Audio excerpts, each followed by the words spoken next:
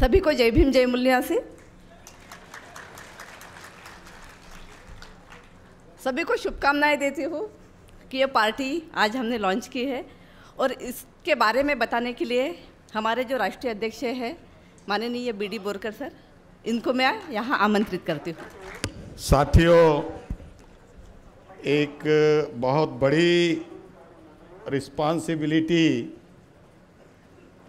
आप लोगों ने मुझ पर सौंपी है और मैं आपसे वादा करता हूँ। मैं आपसे, सभी से वादा करता हूँ कि जिस वैल्यू सिस्टम पर हमने अब तक काम किया उसी ढंग से आगे हम काम करते रहेंगे। साथियों, जो सोशियो पॉलिटिकल सिचुएशन इस देश में आज प्रिवेल कर रही है so also the socio economic situation सामाजिक जीवन में गैर बारी, गैर बराबरिया।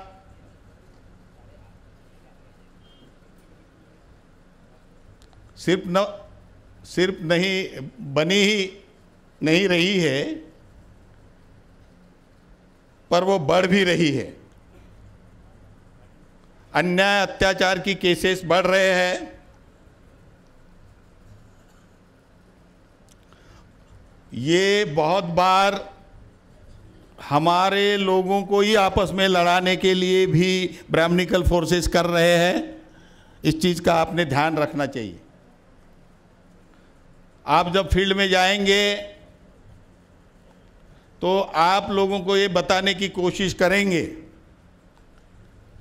कि बैकवर्ड क्लासेस के लोग ही शेड्यूल कास्ट शेड्यूल ट्राइब के ऊपर अन्याय करते हैं। ऐसा ऐसा बताने की कोशिश करेंगे और आप लोगों में रिफ्ट डालने की कोशिश करेंगे। साथियों, इस हाउस में हम जो भी है, वो सभी मूल निवासी है और हमारी फाइट जो है, उन लोगों के खिलाफ में होगी जो इस देश से कहीं से आए हम लोगों के हक और अधिकार उन्होंने छीने और पिछले साढ़े तीन हज़ार सालों से हमारी हालत इतनी खस्ता की है। डॉक्टर बाबा साहब आम्बेडकर ही वो व्यक्ति है। उन्होंने इसको भलीभांति समझा और इन लोगों के अधिकारों के लिए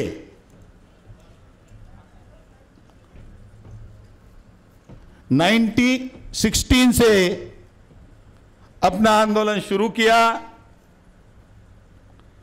चालीस साल अथक परिश्रम किया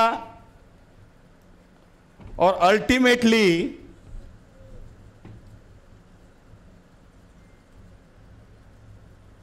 कॉन्स्टिट्यूएंट असेंबली में चुनकर आए। बाबा साहब को वो कॉन्स्टिट्यूएंट असेंबली में चुनकर न आए, इसके लिए कांग्रेस ने पुरजोर प्रयास किया है। उसका एक लंबा इतिहास है, मुझे वो सबकी जानकारी है। और अभी वो बताने के लिए समय की थोड़ी पाबंदी है, लेकिन जब मैं ये आंदोलन लेके पॉलिटिकल आंदोलन लेके निकलूँगा और जहाँ जहाँ भी देश में जाऊँगा, आपको पूरी उसके बारे में मैं जानकारी दूँगा, ताकि कांग्रेस ने हमारे साथ क्या किया। Brahmanical parties Brahmanical forces Congress में रहे हैं, कांग्रेस ये ब्राह्मणिकल पार्टी है, ये बाबा साहब ने बोल दिया था। हमारे लोगों को अभी ऐसा लगता है कि सिर्फ़ बीजेपी ही ब्राह्मणिकल पार्टी ऐसा नहीं है। बोथ आर ब्राह्मणिकल पार्टीज़ और दोनों पावर स्वैप कर रहे हैं। इस चीज़ को समझिए। वो एक दूसरे के हाथ में पावर देने का कार्यक्रम कर रहे हैं और हरियाणा में इसका ताज़ा उदाहरण रहा। जब अडवाणी ने उधर ये स्टेटमेंट दिया था कि अगर आप बीजेपी को वोट नहीं करते तो कांग्रेस को वोट करिए। इससे आप समझ सकते हो कि ये मिलजुल के हमारे ऊपर राज करना चाहते हैं और कोई भी मूल निवासी बहुजन समाज की पार्टी को भारतवर्ष में पनपने नहीं देना चाहते। तो इसलिए साथियों हमारी जो प्राइमरी रिस्पॉन्सिबिलिटी है, ये दोनों पार्टियों को ध्वस्त करना और अपने समाज को उनको अधिकार दिला देना। कहा है हमारे अधिकार? जिन अधिकारों की बात हम करते हैं, वो अधिकार कहाँ है? वो अधिकार संविधान में है। और संविधान में भी मैंने पढ़ा मैं संविधान का स्टूडेंट नहीं हूँ, लेकिन आंदोलन की दृष्टि से जब ने, जब मैंने संविधान को देखा तो मेरे दृष्टि से संविधान सिर्फ़ और सिर्फ़ फंडामेंटल राइट्स है और डायरेक्टिव प्रिंसिपल्स है, और नहीं है। और जो कुछ भी उसमें है, वो है जो मूलभूत अधिकार बाबा साहब ने हम लोगों के लिए लिख के रखे, इस देश के हर नागरिक के लिए लिख के रखे। उसमें सिर्फ़ मूल निवासी बहुजन समाज ही नहीं आता। उसमें इस देश का हर नागरिक आता है। और वो हर नागरिक को उसके अधिकार उसमें दिए हैं फंडामेंटल राइट्स में। और वो उनके फंडामेंटल राइट्स की प्रोटेक्शन करने की रिस्पॉन्सिबिलिटी संविधान ने स्टेट पर लगाई हुई है राज्यकर्ताओं पर लगाई हुई है।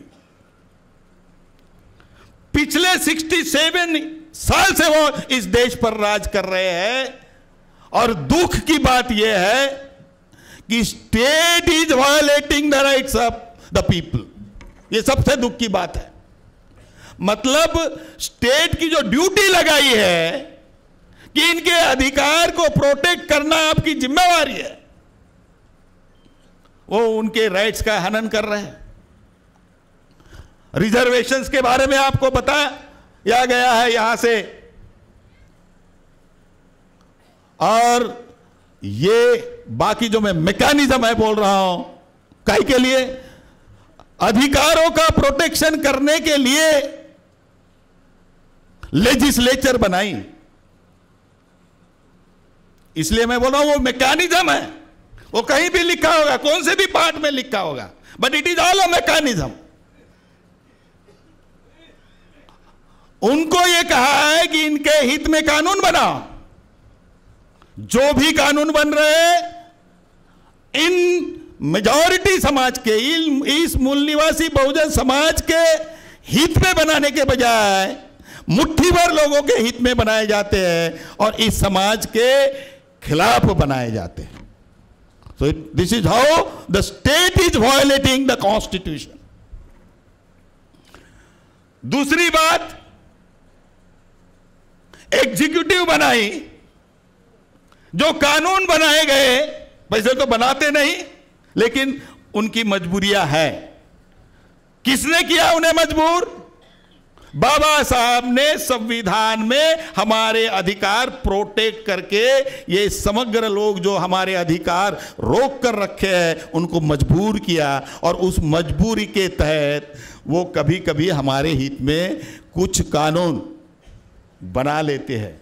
लेकिन जो एग्जीक्यूटिव है, इस देश की एग्जीक्यूटिव मशीनरी जो है, वो हमारे अधिकार हमें न मिले इसके लिए निरंतर काम करती रहती है। And all those post and position are occupied by the Brahmanical forces and more so by Brahmins इसलिए भी हमारी खस्त हालत है। और बाबा साहब ने यह कहा है, अगर आप पुनः पैक पढ़ते हो तो पुनः पैक में यह कहा है कि एडमिनिस्ट्रेशन इज़ मोर इंपॉर्टेंट उन्होंने लिखा है वहाँ, क्योंकि अल्टीमेटली राज्यकर्ता क्या बनाते हैं? उसका अमल कौन कैसा कर रहा है? ये ज़्यादा मैटर करता है, क्योंकि अल्टीमेटली ग्रास रूट में लोगों को अगर अधिकार उनके चाहिए तो अमल करने वाली मिशनरी बहुत मायना रखती है। उन लोगों ने भी हमारे अधिकार रोक के रखे। तीसरी इंस्टीट्यूशन जो बनाई, वो है जुडिशियरी और जुडिशियरी हमारे साथ क्या कर रही है, ये आप सबको पता है। इसलिए मैं ये कह रहा हूँ कि ये राइट्स के लिए हम अपनी लड़ाई लड़ेंगे। दूसरी इंपॉर्टेंट बात, मैंने जो कहा कि जो कॉन्स्टिट्यूशंस का हार्ट है, वो fundamental rights and directive principles है। It is the directive principles इस डायरेक्टिव प्रिंसिपल्स के तहत संविधान डायरेक्ट कर रहा है राज्यकर्ताओं को कि आपने इन लोगों के हित में नीतियाँ बनानी चाहिए। जो नीतियाँ इस देश में आर्थिक नीतियाँ बनाई जा रही है when we talk up a socio economic equality तो इस देश के लिए जो आर्थिक नीतियाँ बनाई जा रही है, वो सभी नीतियाँ हम लोगों के खिलाफ में बनाई जा रही है। और इसलिए आप देखेंगे वो रिजर्वेशन का मसला हो। वो वो स्कॉलरशिप्स के मसले हो। वो एजुकेशन से संबंधित जो नीतियाँ होनी चाहिए, जिसके बारे में मैं अभी ज़्यादा विस्तार से नहीं बताऊँगा। प्राइवेटाइजेशन हो। मतलब टोटली कॉन्स्टिट्यूशंस को उन्होंने ऑलमोस्ट कचरे की पेटी में डाले जैसा कर दिया है उन्होंने। इसलिए हमारी ये रिस्पॉन्स है कि सरकार को, उनको हमने मजबूर कर देना चाहिए कि या तो ये जो अधिकार संविधान में दिलाए, दिए गए हैं जो नीतियाँ उससे सुसंगत बननी चाहिए, अगर आप वो नहीं बनाते तो आपको ये कुर्सियाँ खाली कर देनी चाहिए। इसके लिए हमको लड़ना होगा। मैं ज़्यादा आपका समय नहीं लेते हुए साथियों, हम क्या प्रोग्राम अनफोल्ड करने वाले हैं, इसके बारे में थोड़ा मैं आपको बता दूँ। हम जो मेजॉरिटी मूल निवासी बहुजन समाज का तबका है जिसमें शेड्यूल कास्ट है, शेड्यूल ट्राइब है, बैकवर्ड क्लासेस है, और इनमें से जो समय समय पे हम भिन्न भिन्न धर्मों में गए, ब्राह्मणों की बदमाशी से गए, उन सबको जो उनके कॉन्स्टिट्यूशनल राइट्स है, वो दिलाने के लिए हम काम करेंगे। एक, जो माइनॉरिटीज स्पेशली है, उनको प्रोटेक्शन दिया है संविधान ने। और एक जगह बाबा साहब ने यह कहा, majority rule is a rule by fluke. मतलब जो लोग मेजॉरिटी का इस्तेमाल समाज को समाज को तोड़ने के लिए कर रहे हैं तो बाबा साहब ने यह कहा है it is the duty of the majority to protect the minorities in the country and they are not suppose to do certain thing ये ये लिखा है। ये लिखा है उसमें बाबा साहब ने। वो किताब मेरे बैग में पड़ा हुआ है। वो लिखा है। They are not suppose to do certain things लेकिन जिस ढंग से हमारे मुस्लिम भाइयों के साथ जो व्यवहार कर रहे हैं इसके बारे में भी। तो हम उनके अधिकारों के लिए भी हम आ, हम अपने नीतियाँ बनाएँगे। तीसरी जो इंपॉर्टेंट बात है जो आप देख रहे हैं इस देश में फार्मर्स मर रहे हैं। वो आंकड़े कैसे आ रहे हैं?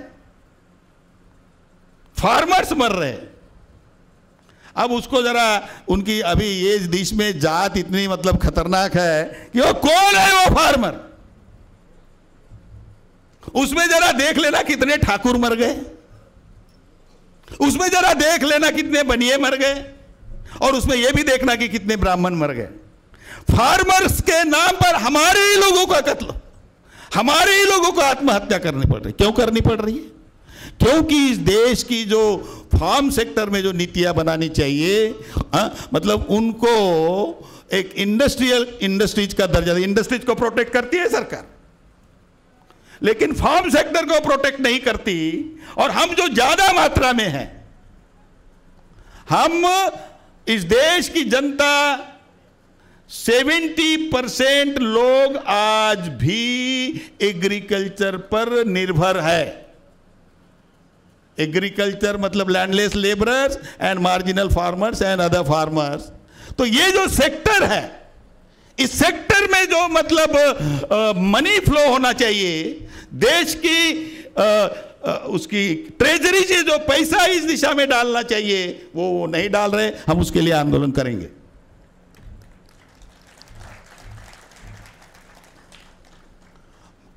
पिछले जब से मुझे समझ आई और बामसेप ने में, आ, मतलब मैं जो एंट्री की थी